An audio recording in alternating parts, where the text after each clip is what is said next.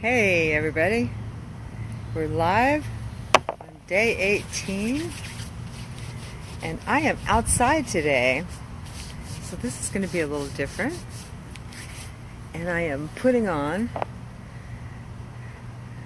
lemongrass because well that's what keeps the bugs from not biting me outside here in swampy mosquito laden Florida can see I've got blue skies and I can't see much but it looks like my gorgeous bananas back there wavering. And today's topic I have been pondering all day. The great thing about these topics is it really does get you thinking about things. Still getting over a little bit of the crud that tried to get my chest this week but still taking my oil so feeling good, just have a little residue. So, who is an important figure? Well, I have to admit that um, this was difficult. It was hard to choose. I have a lot of great role models in my life. Hi, Kristen. Thanks for joining. And I wanted to talk about family first, and then I thought about celebrities and then I thought about friends, and well, I have some great family members that really have just been amazing role models to me. My father's father was a doctor, but he didn't become a doctor till my dad was a freshman in high school. So he raised six kids during the Depression, and when World War II was over, he went back to college and went to medical school and went ahead and got his license and practiced for 20 or 25 more years and did what his passion was, what he had always wanted to do, and that was to be a doctor.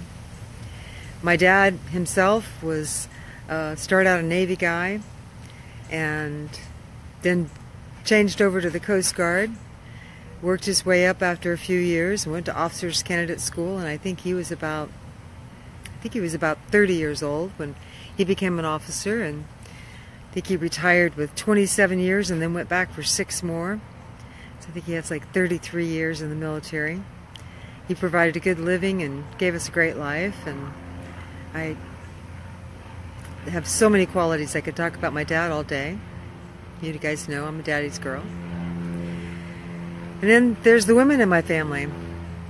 My grandmother, who um, found herself divorced right after World War II, went to work at the district clerk's office. Position came open the next cycle, and she decided to run for it. And she, as a woman in the mid 40s, won the election, and she held that office going through election every four years for over 40 years. And she was known throughout East Texas um, and loved by many and just a a great grandmother. I spent many, many summers with her. She always welcomed me to her home. She always gave me unconditional love.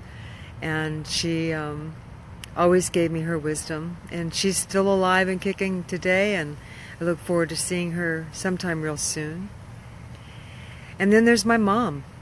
My mom was um, not a stay at home mom like most moms of my parents' generation. She worked in a bank and she worked her way up.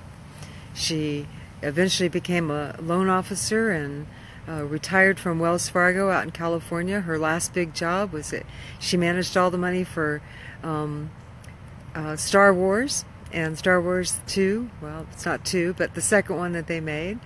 And got to meet with George Lucas every week. And um, so she had a great career and um, then went on and did some other things in real estate after that, and then ran a bed and breakfast for almost 10 years. And now she's taking good care of my dad up in Atlanta. So I have lots of family members that have just passed on great stick to itiveness and hard work ethics, and I love them all dearly. But as far as a famous person, I think my favorite, favorite person would have to be Oprah Winfrey. I've always admired Oprah. She she came from nothing, and she didn't let that hold her back. She worked hard, she learned the skills that she needed, and when she became wealthy and famous, she gave to so many people. I love watching her still to these days, um, watching reruns of her. She's just an amazing interviewer, and she puts people at ease and gets them to talk to her and tell her things that most broadcasters or interviewees would not be able to do.